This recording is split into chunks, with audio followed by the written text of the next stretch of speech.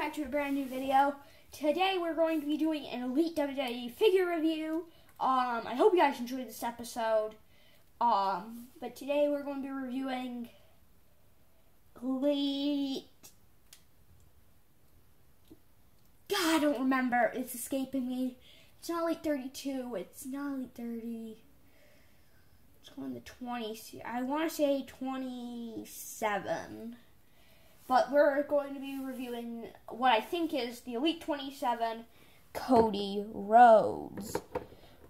Please, sand Cody. But this figure is a very good figure. Actually, if you saw my newest video, uh, my SPW Championship Triple Threat, um, you saw this Cody in action, doing uh, a couple moves in the match.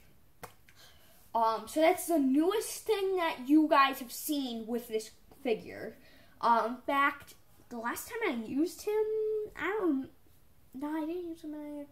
Also, there's a brand new stop motion up. Actually, I actually just found this on the phone I'm using to record it with.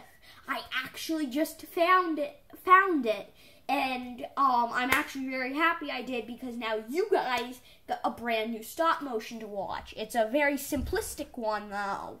But yeah. So let's begin with his accessory, his uh, nice jacket. Um, so it's a nice button jacket. It has C and R on it if you look closely. Uh, one thing I did have trouble sometimes, so let me just put him in this is him in his jacket.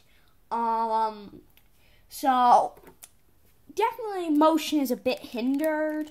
Like arm articulation is kind of hindered. Like it's a very tight joint, but he can open up the robe. That's pretty nice. But uh, leg movement isn't hindered much, which is nice. So let me actually so I've actually always had troubles getting him out of his jacket, which I've never actually found out uh, how like to do it easily. So this might take a while, so I'm gonna pause it.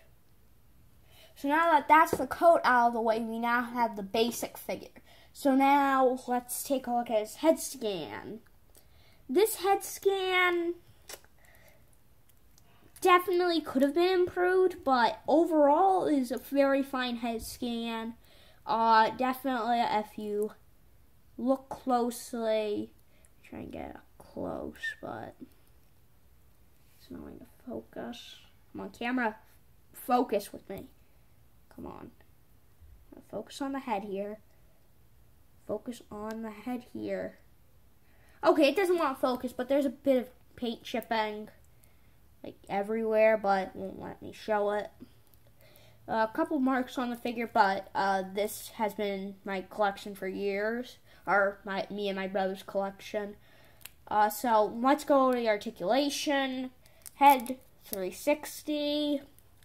Uh, torso can move up and down, and also goes 360. Now for the arms. Same as that uh, uh, Morrison basic review, which should hopefully be up by the time that this one comes out. Uh, so yeah, uh, swivel at the shoulder blade, I want to say it's called. I couldn't actually remember the Morrison review, but yeah, the shoulder blade. Uh, bicep swivel, which is kind of nice, but it, the bicep seems a bit loose actually. But then a single jointed elbow, and then double jointed wrists. So 360 degree on the wrists, and then in and out like that. Same with this arm. Uh, legs can move out like this, out like so knee, uh, so it can move out like this, like as far as this is, and then doesn't move out back because of the the, the tights. The tights kind of hinder the back movement. Uh, knee joint, like that. Normal knee joint. It is double jointed, like so, kind of tell it's double jointed. But the knee, I never liked big knee pads. I always hated big knee pads, and they gave him big knee pads, so hinders the double knee joint. Uh, so 360 and the foot or the boot, and then the foot joint. Uh, it's definitely worse than the Morrison. Like you can kind of see a kind of tilt on it, but yeah. So not the best figure. Definitely not the worst figure. Um, let me quickly grab his accessory. So guys, that was the review of the Elite. I want to say 27 Cody Rhodes figure. Um, hope you guys enjoyed this video. Uh, please uh, like, share, and subscribe. Check me out on Twitch and Twitter. Not Twitter, Google Plus. I, just said Twitch, so I'm getting used to T's.